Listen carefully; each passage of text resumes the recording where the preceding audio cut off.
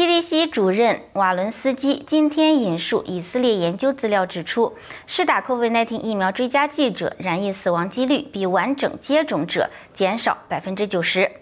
CNN 报道，瓦伦斯基在白宫简报会上分享追加剂效力的研究资料，这是以色列在 COVID-19 变异株 Delta 盛行时所做的研究。瓦伦斯基引述的资料显示，接种 COVID-19 疫苗追加剂者。染疫几率比接种两剂者减少十倍，在六十岁以上族群中，重症发生率减十八倍；在四十岁至五十九岁族群中，重症发生率降二十二倍。此外，染疫死亡几率也比完整接种者减少百分之九十。瓦伦斯基说，以色列做出这些研究时，当时境内 Delta 变异株正在流行，在防范 Omicron 变异株上。我们预期也能在接种追加剂身上见到类似的防护力增加趋势。